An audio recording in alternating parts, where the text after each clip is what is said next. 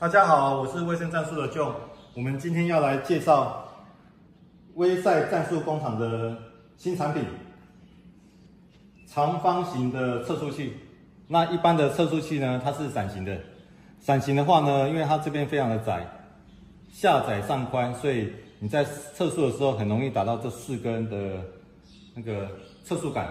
那威赛战术工厂特别开发了正方形的，它非常的宽。然后我们在里面射击的时候呢，比较不会打到这四根杆子，可以尽情的做射击。那我们它另外有三十五组的记忆功能。那另外我们一般的测速器啊，它打完之后只能显示出它的初速。那我们这一台呢，它打完之后不可以，不仅可以显示出初速，还可以显示出它的动能。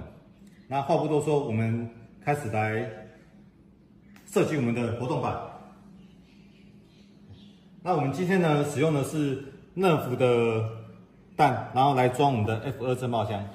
那 F 二震爆枪它除了可以震爆防身之外呢，它装乐福的海绵弹呢，它也可以增加家庭娱乐跟生活乐趣这样子，而且也不会有太多的那个力量会造造成伤害。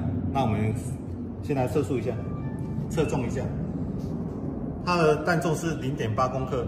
那我们已经把它进入到。我们微赛最新开发的测速器里面，那等下它就会直接显示出它的初速跟它的交火速。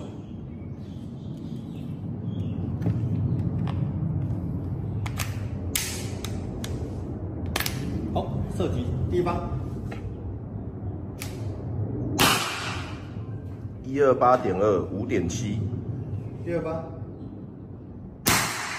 一二五点五五点五。第三发，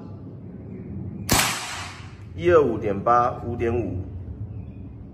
第四发，一二八点二五点七。第五发，一三三点六六点二。最后一发，一三八点零六点六。我们可以看出它在我们。测速的时候呢，它就可以顺便显示出它的焦耳，然后对我们一般的动能动能计算上面产生了非常大的便利性。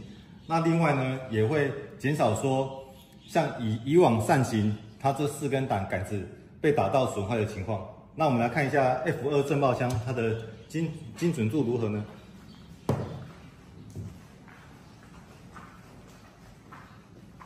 哇，非常的精准。几乎都打在这个圈圈里面。